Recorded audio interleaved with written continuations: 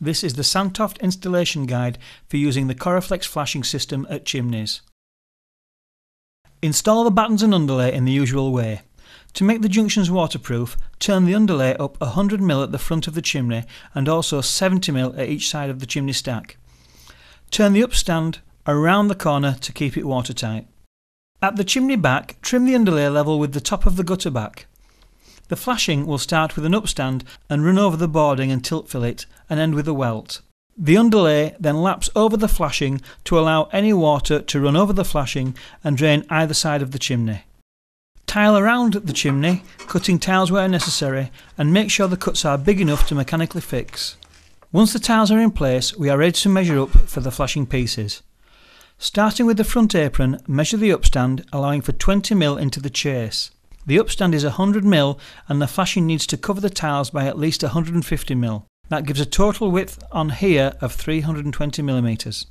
The length of the front apron is the width of the chimney plus 100mm, giving a total length here of 470mm.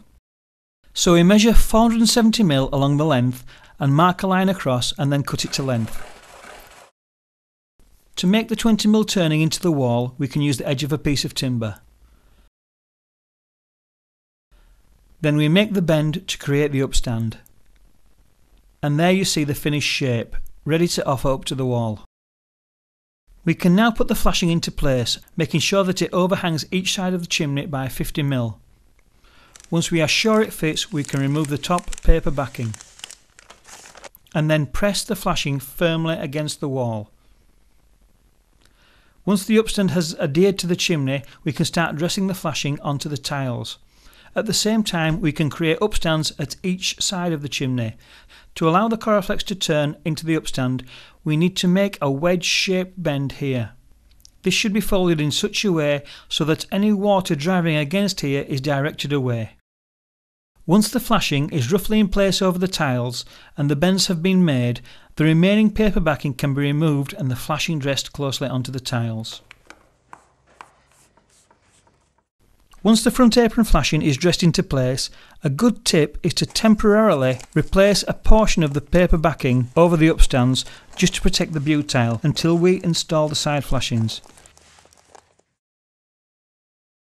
At this point the upstands can be trimmed like so.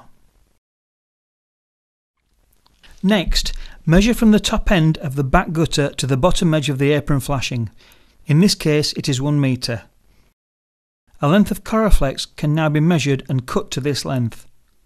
Marking and cutting on the top face makes it easier to follow the little corrugations. Next, we mark a centre line. The flashing can then be bent at 90 degrees along this line. Then we mark the water line. This needs to be 65mm from the bend. This will be the minimum height that the flashing extends up the wall. Once the waterline is marked, we can offer the flashing up to the wall like this, making sure that the bottom end of the flashing coincides with the bottom end of the apron flashing. Next, we mark horizontal lines from the watermark to the edge of the flashing. These will form the turns into the brickwork joints. Then we mark cut lines 20mm above the bend lines.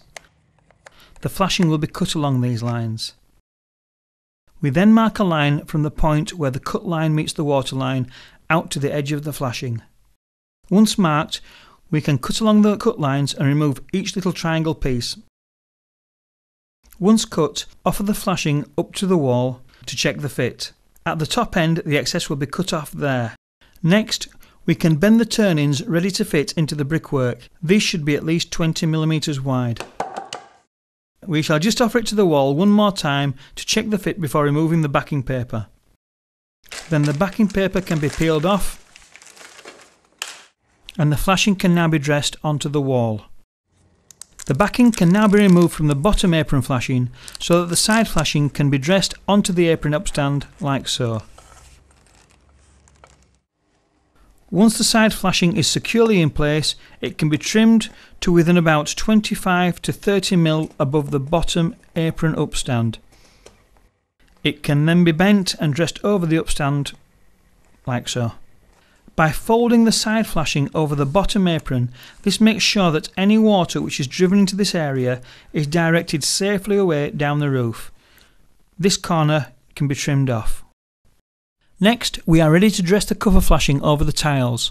So again, we peel off the backing paper and then start pressing the flashing onto the tiles like so. Take care to push the flashing right into the corners over the tile tails. A bossing stick comes in really handy for dressing the KoraFlex, but you can also use non-specialist tools such as the shaft of a hammer or even a knife handle. If necessary, the outer edge of the flashing can be marked and then trimmed to a straight line to give a neater finish. At the top end of the side flashing, trim off the excess. Just leave enough to allow a turn over the back gutter.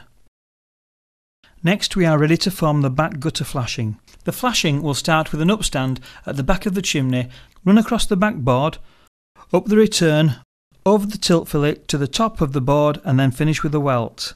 Here we need a total width of 450mm and be long enough to reach the outer edges of the side flashings. Once the KoraFlex is cut to length, we can make the appropriate bends for the turn-in, the upstand and the return. Then we can put the flashing into place to check for fit. If everything is okay, we can remove the first width of backing paper from the upstand and base and then again place the flashing into its correct position. Then we can turn the flashing into the chase and dress it against the upstand and onto the base. Then we can remove the remaining backing paper and start to dress the flashing onto the return and over the tilt fillet, taking care to dress the flashing right into the corners at each side and over the tiling to meet the side flashings. Again, a lead tool is ideal for dressing the flashing, but a hammer shaft can also be used to good effect. Remember to form the welt at the top edge of the flashing. Once formed, the underlay can be turned back over the flashing and tilt fillet. At the chimney corners, the KoraFlex can be trimmed so that it can just be turned over the side flashing at the edge of the back gutter. This edge can then be dressed over the corner. Trim back the flashing so that it is in line with the side flashing below the next tile. Once the flashing is trimmed and dressed, the next course of tiles above the chimney can be laid. And there we have the finished chimney flashings. A chimney back apron, two side flashings and a front apron. If a more traditional appearance is required at the front apron, the two upstands can be dressed over like so.